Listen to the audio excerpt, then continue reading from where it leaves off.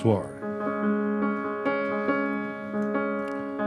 On est très content d'être ici ce soir. Puis on est très content que vous soyez là ce soir. On a décidé de jouer d'un commun accord tous, sans même réfléchir. Tout le monde était très enthousiaste. Et on va faire ce concert sous l'égide. On va la même l'appeler peut-être comme ça. Ce sera ce soir un concert, un méga plaidoyer pour la fraternité.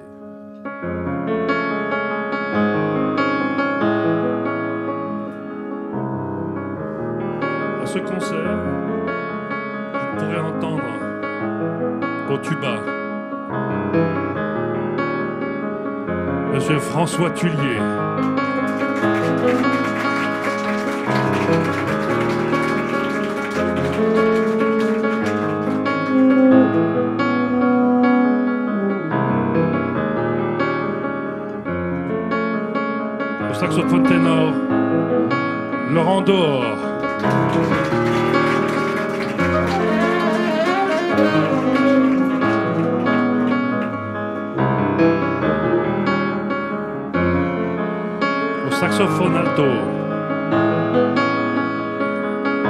Guillaume Orti.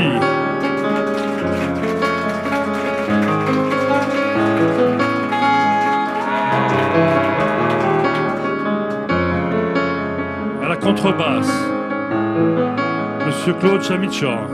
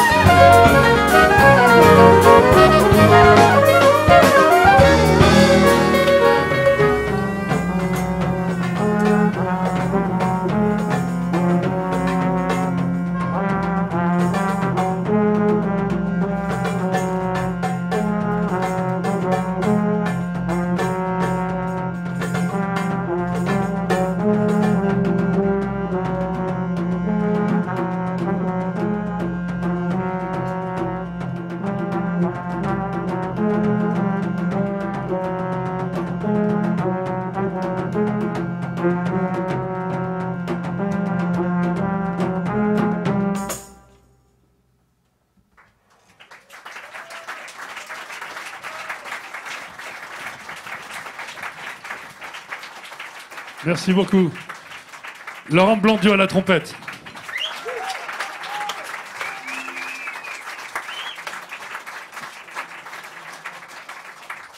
Dans cette euh, dernière pièce qui s'appelle Mirrors, dédiée à Joe Zawinul, vous avez pu entendre au saxophone alto Philippe Selam.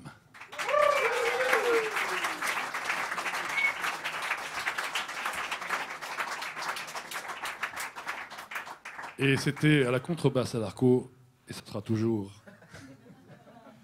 Claude Chamichan.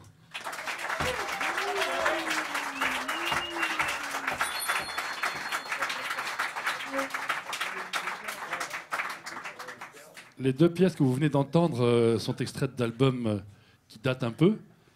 On avait décidé pour le top 10 de reprendre des anciens morceaux avec le, le commun accord pour euh, jouer quelques anciens thèmes qu'on aime beaucoup. On les trouve sur disque encore, je crois qu'il doit en rester deux ou trois. Puisqu'on termine la tournée aujourd'hui. Elle a commencé hier.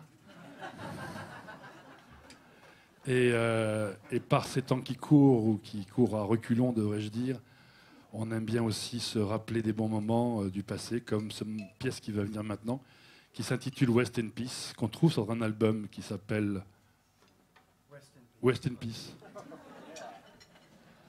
qu'on doit pouvoir trouver dehors. Il doit en rester deux ou trois. Euh, donc je pense que, j'espère en tout cas que ce soir, on les verra plus. Parce que quand on a fait ces albums, on passe à autre chose maintenant. Et donc, euh, justement, on est passé à Obsession 3, qui est un album qu'on jouera uniquement au deuxième set. Euh, parce qu'il fait 3h30. Comme on a le temps ce soir, on nous a dit qu'on pouvait faire la fermeture, mais bien tard dans la nuit. Et donc, euh, voilà, avec, dans ces moments difficiles, on est content que vous soyez là parce qu'on avait envie de jouer, de jouer pour, par fraternité, par solidarité vis-à-vis de tout ce qui s'est passé hier soir, qui est une horreur. Et donc, West in Peace, dans le même genre pour plomber la soirée, a, été écrit aussi à, à l'occasion de bombardements sur des innocents avec des armes fournies par l'Ouest. Alors on dit en anglais Rest in Peace, là on l'a appelé West in Peace.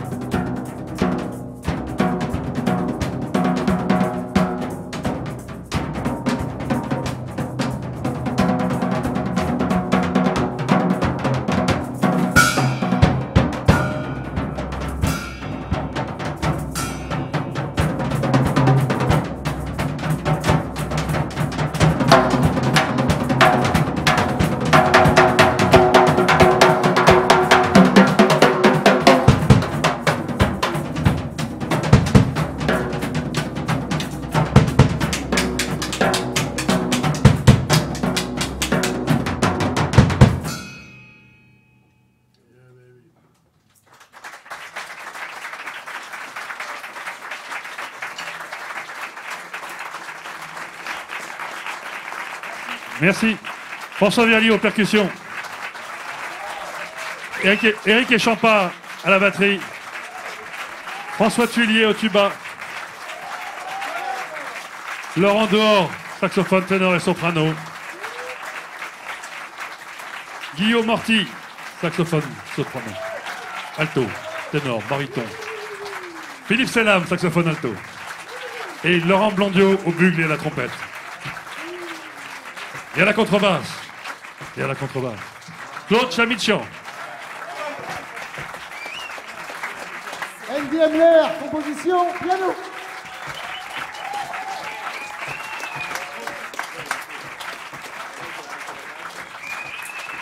Merci. Ce dernier morceau s'appelle Crouch Touch Engage. C'était pour Jimmy, parce que je sais qu'il aime bien ce morceau. Il est en vente à la sortie, on le signera pour vous si vous voulez. Jimmy est en vente à la sortie. On fait une petite pause de 34 secondes, 35 secondes et on revient. Merci.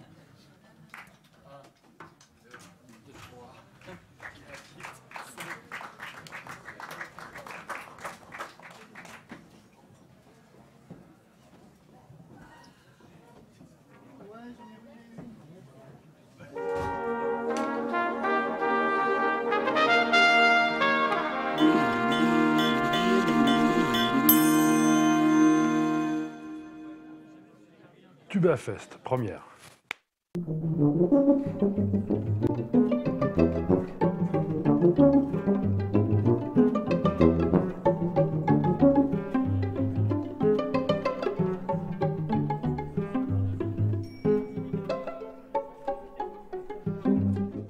Un programme pour tuba, un programme pour euh, François Tuillier, qui est un soliste hors pair, hors du commun, qui est eu- reconnu dans le monde entier. Et je dis ça, je parle en connaissance de cause. Chaque fois que je vais partout dans le monde, que ce soit au Japon, aux États-Unis, ailleurs, que je rencontre des tubas, tout le monde connaît François Tuillier.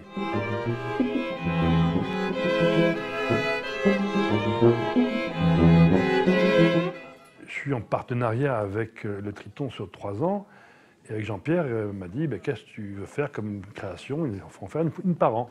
Et François Tullier, après un concert du Méga Octet, il m'a dit Tuba et Quatuor à cordes, je ne crois pas qu'il y en ait beaucoup. euh, dans nos musiques, ça n'existe pas.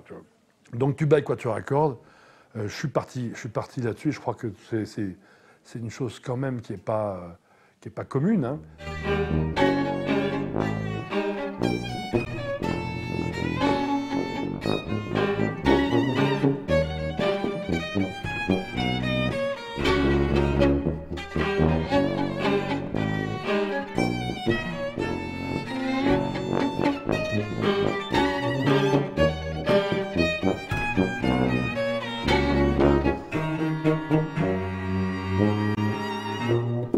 Instrument virtuose, un instrument soliste à part entière.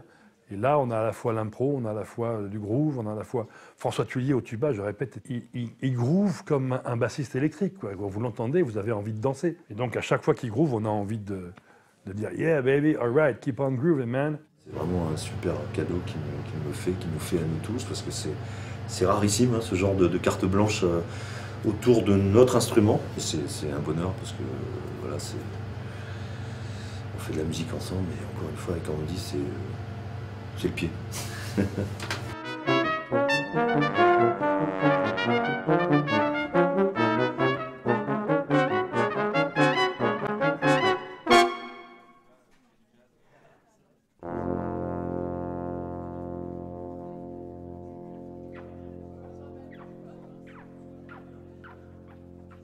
Le quatuor à cordes, je n'avais jamais touché à ça.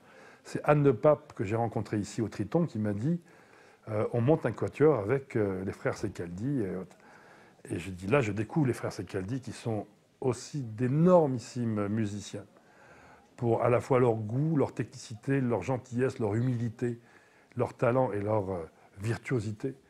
Du coup, je les ai intégrés à la pièce avec François Tullier pour qu'ils aient l'occasion de s'exprimer aussi un petit peu en improvisation.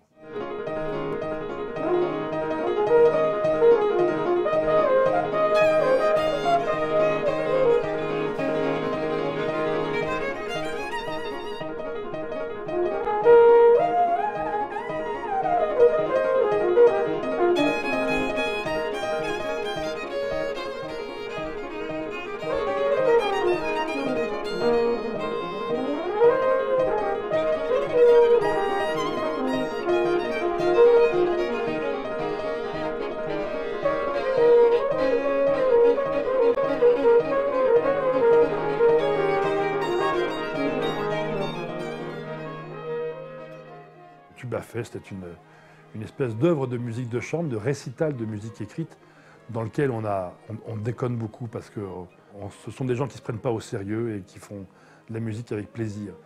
Donc il y a du sourire, il y a des compétitions, des challenges, qui va citer qui, qui va citer quoi, qui va faire rigoler qui. Et ça, dans la musique écrite, c'est pas souvent, donc je suis le plus heureux des hommes et très honoré d'être joué par cette équipe de musiciens et de musiciennes.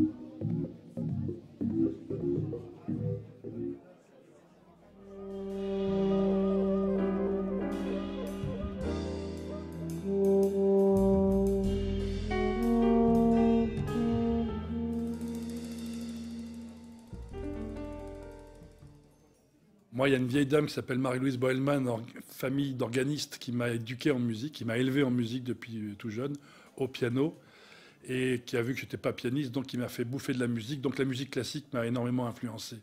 Ça, c'est clair. Mais c'est le XXe siècle surtout. La musique classique, bien sûr.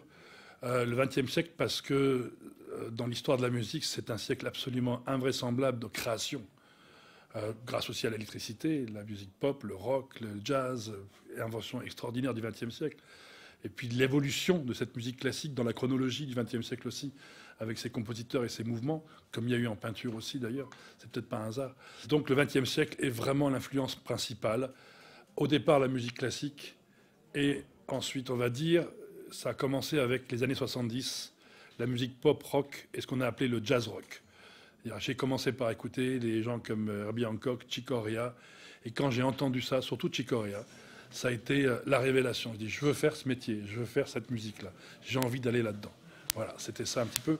Il faut dire aussi que j'ai toujours pratiqué des groupes depuis l'âge de 14-15 ans, et donc l'influence du plaisir d'être à plusieurs, de jouer en groupe, ça a généré, bien entendu, l'envie d'écrire, et donc d'écrire avec sa nourriture du moment, j'ai envie de dire, celle de la fusion, qu'on a appelée la fusion, le jazz, rock, et bien sûr les groupes comme Led Zeppelin, les Who. Euh, j'étais fan de tout ça, donc euh, j'étais guitariste de rock dans les balles du samedi soir. Donc voilà, c'est un petit peu le mélange de tout ça. C'est pour ça que je mets l'accent sur le XXe siècle, parce que c'est, euh, ça a généré énormément de choses.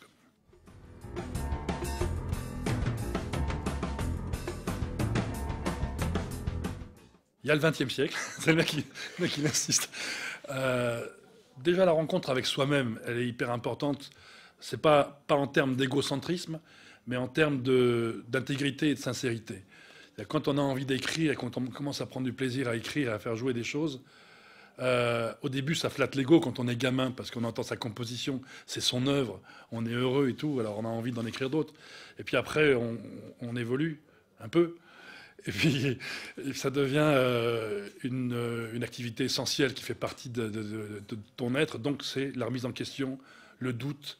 Euh, qu'est-ce que j'ai envie de dire Comment j'ai envie de le dire Pour qui j'ai envie de le dire et, voilà. Donc, les rencontres, c'est d'abord aussi un certain Antoine Hervé au Conservatoire de Paris. On a fait nos classes d'écriture ensemble, l'harmonie, le contrepoint, la fugue, l'orchestration. Des rencontres avec un compositeur comme Marius Constant. Et, je me répète, mais les rencontres avec ces musiques des années 70, la fusion, le jazz électrique, avant d'aller écouter ensuite ces, gens dans le jazz plus ancien, euh, Chick Corea, Herbie Hancock, qui j'arrête, surtout aussi Weather Report.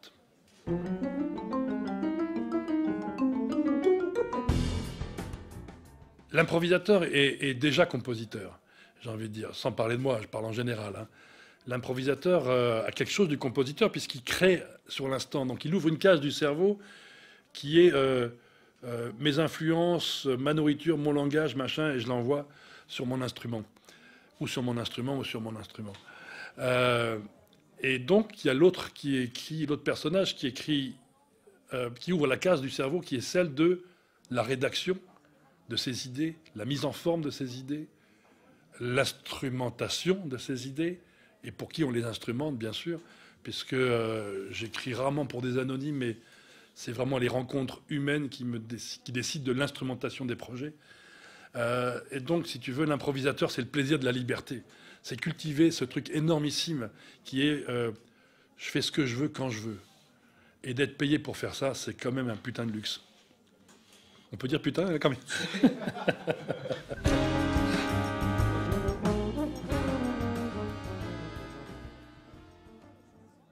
le fait de ne pas écrire pour des anonymes, euh, c'est ce qui a généré l'écriture. C'est les rencontres avec tel ou tel musicien qui te dit tiens, ce batteur il joue super, on va monter un groupe, on va faire un truc. J'ai commencé à faire ça adolescent avec les groupes de rock parce que c'était euh, les rencontres avec tel ou tel musicien qui généraient cette écriture.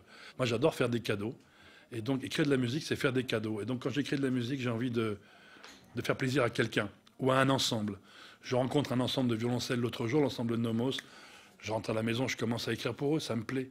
Ils sont sympas, c'est des gens que je connais. Euh, voilà, les solistes du méga octet, c'est pareil, c'est des gens que j'aime, des gens que j'ai rencontrés, avec qui on a une histoire. Donc, on a envie d'écrire pour ces gens-là. Je me situerais plus comme un entre guillemets, sans prétention, un catalyseur d'enthousiasme. J'ai déjà vu cette expression, elle n'est pas de moi. Organisateur du, truc. Me mettre en valeur, ça ne m'intéresse pas. C'est déjà formidable d'avoir un outil extraordinaire et d'avoir des musiciens à disposition qui vont jouer ton travail et le travailler, pour certains. Ils sauront se reconnaître.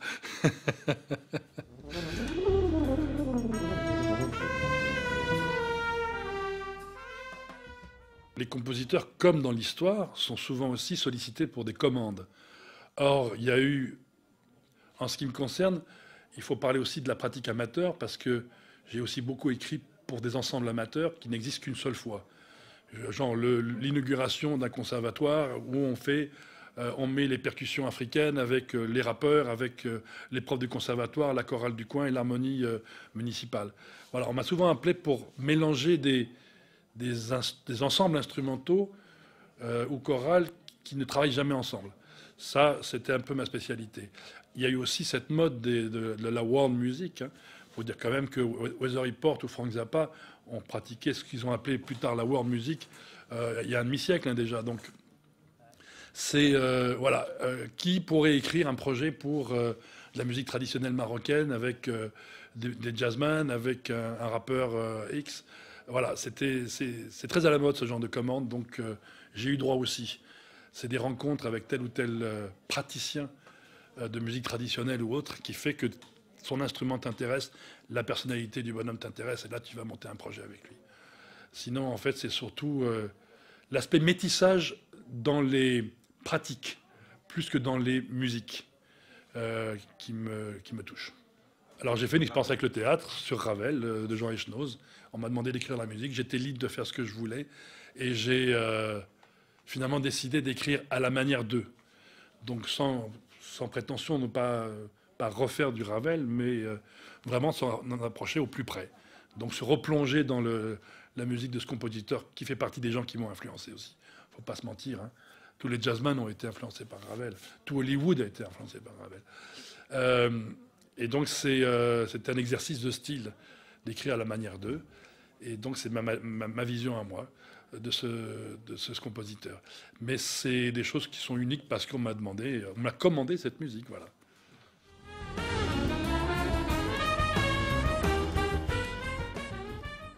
Votre histoire du Triton, elle, est liée aussi à celle des artistes et vice-versa, j'ai envie de dire, parce que c'est l'échange qui fait que ça a grandi. Emler, grandi Emler. Euh, c'est la rencontre, puisque la, volonté des frères vivantes de programmer aussi certains artistes et pas d'autres, et forcément c'est très subjectif, hein, c'est un choix, et ça a emmené euh, l'image du Triton vers des musiques qui étaient peu programmées dans les clubs, ou, mal programmées en tout cas, mais qui a généré des créations, qui a généré aussi la naissance de beaucoup d'ensembles, et donc on parle de gens qui ont des choses à dire. C'est jamais anonyme, hein, quel que soit le langage, parce que là, on, dépasse largement le cadre du jazz. Euh, on, parle de, musique en général. On y trouve du théâtre, de la chanson, de la musique instrumentale, de la musique de chambre. Enfin voilà, il y, a plein plein de choses. Et l'éventail s'élargit d'autant plus que c'est incontournable aujourd'hui et c'est exemplaire de parler des musiques et non pas d'une musique de jazz ou autre.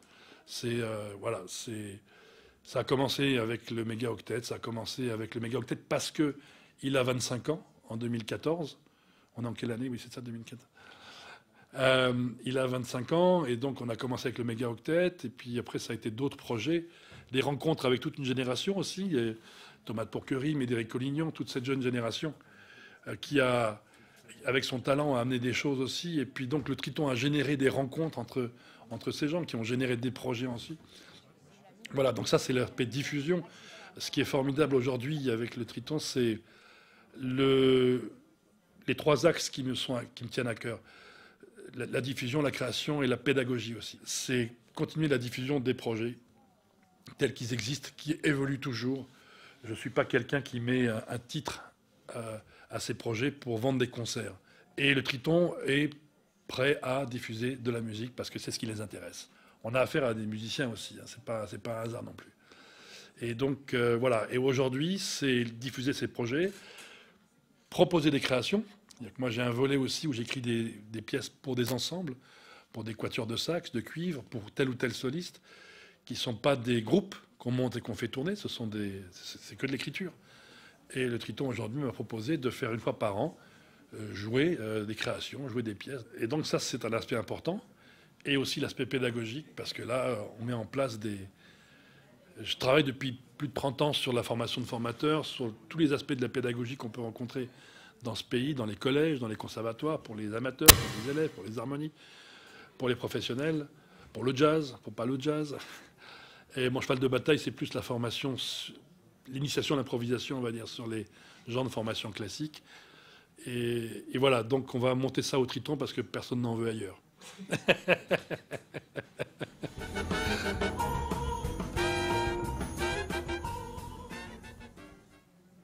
Alors je peux pas le raconter parce qu'il est, il est, graveleux, il est vraiment très graveleux. Mais euh,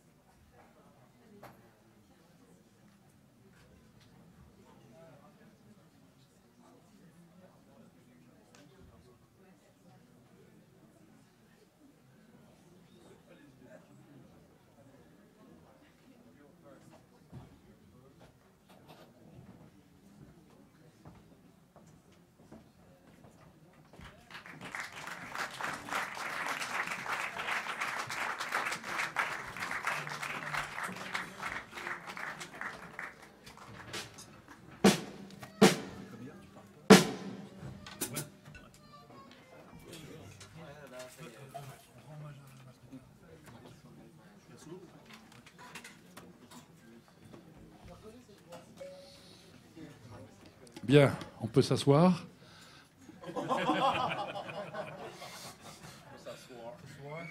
Bonsoir.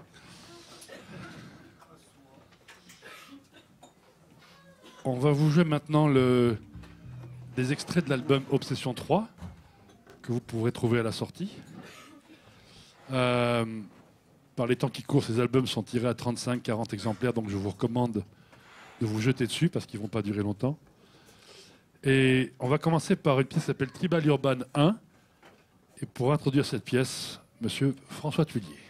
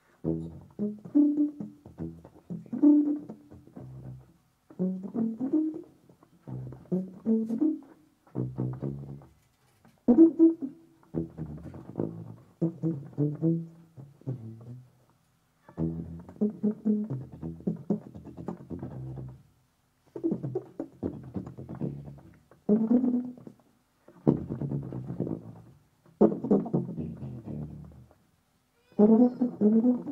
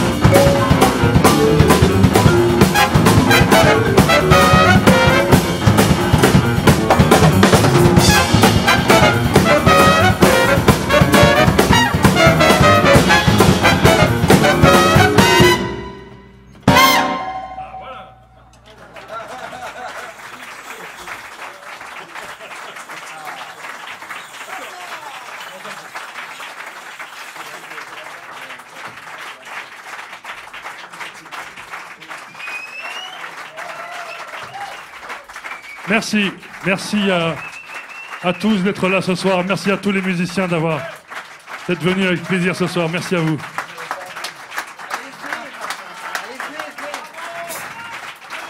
Merci Jacques, merci l'équipe technique.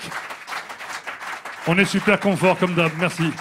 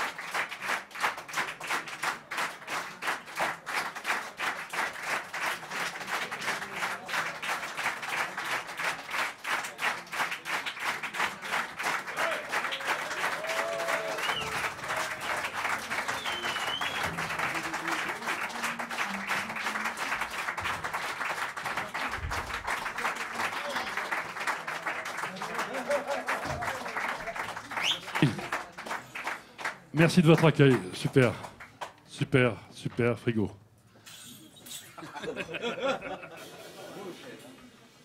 On va jouer une pièce qui s'appelle Super Frigo. Je sais pas pourquoi ça s'appelle Super Frigo. Faut jamais demander l'explication des titres. C'est toujours quelque chose de très très intime et de.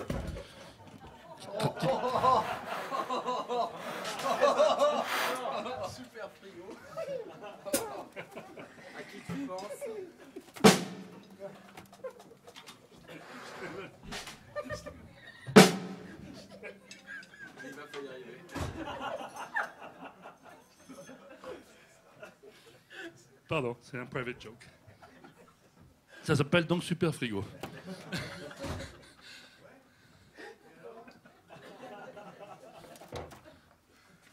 C'est vachement dur à jouer.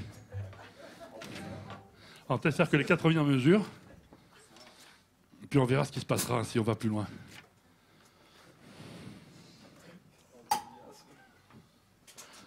On va commencer euh, de manière à un slow, comme ça, pour être tranquille.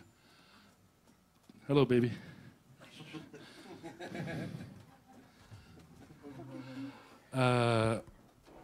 Le tempo que tu veux, François.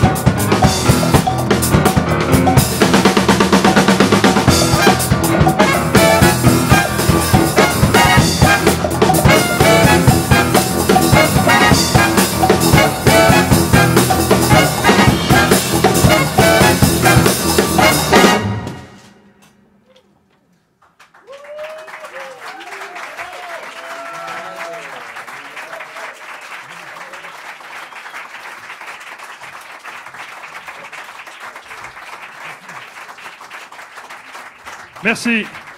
Laurent Blondieu à la trompette et au bugle. Philippe Selam. Guillaume Morty. Laurent Dehors. François Tuillier au tuba.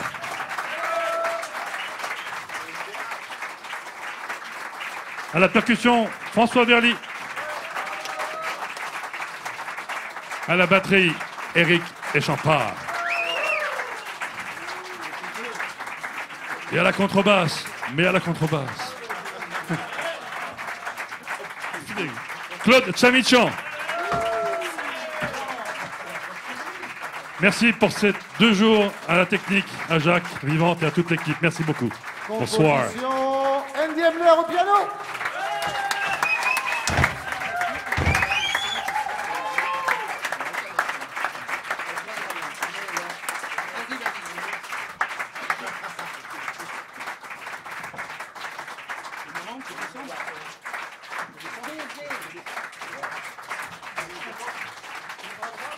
Venez écouter Laurent dehors le 4 et le 5 décembre, ça vaut la peine. Merci.